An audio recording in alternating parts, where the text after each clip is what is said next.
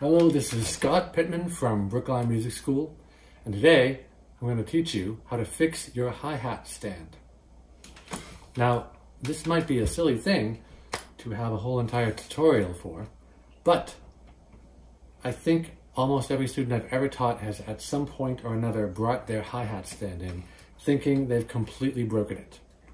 This happens so often, I would say once a week I have a student bring me their hi-hat stand or tell me about it what usually happens is they're playing and pushing the pedal down and they will see this thing, this post go up and down and the clutch may not be attached or if the clutch is attached, this happens where it is not attached to the cymbal. Now it's been so crazy that I actually had a student go to the store and buy a new hi-hat stand thinking that it was destroyed forever. So we don't want that happening. So the first thing you're gonna need to do is take, is undo this clutch by just turning it just a little bit. You don't have to go crazy. If this is tight, this is loose. That was a quarter turn. If you take the clutch off, then you'll also find a piece of felt.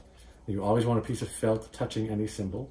And now it's really hard to get the cymbal off because it's tight against the other cymbal. So you want to just push them so they're diagonal like this, and then you can easily take the other cymbal off. And then a lot of times you will usually find the other part of the clutch and another piece of felt. So in this case, what happens on a monthly basis almost in most people's drum set is that this bottom part comes apart from the main clutch that can just be screwed in. And that happens because as you're playing, the vibrations of playing the hi-hat unscrew this piece, which is usually hidden underneath. So the first problem is solved by putting the clutch in the top, so it looks like this, and then you just screw this on underneath. That is probably 85% of my hi-hat problems, which can be solved just by screwing that back in, and it's done. The other 15% of the problems is this, where this piece here is not actually threaded into the piece that's hidden in the post. This is a trickier trick um, to fix and what you really need to do is make sure this threaded part here threads into the inside part. Now sometimes you can just feel around until it grabs. And the way you'll know it grabs is you are threading it and you can push and pull the pedal and the pedal moves up and down. You know you've done a correct job. If you can't get it to thread in without looking at it, then you would take the bottom cymbal off and then you're gonna, with one quarter turn, take the post off, and then you usually can see very clearly where this thread goes. So now I've threaded it that way.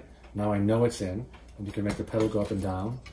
And now you put the post back in, you tighten it, you put the bottom cymbal in, and just so you know, the bottom cymbal um, is never attached to anything. It just sits there. So it's just free to move any way it can. And then your clutch, which always make sure you have felt on both sides of the clutch. And that goes like that. And you want to have the hi-hats maybe about a centimeter apart. And then you just tighten them.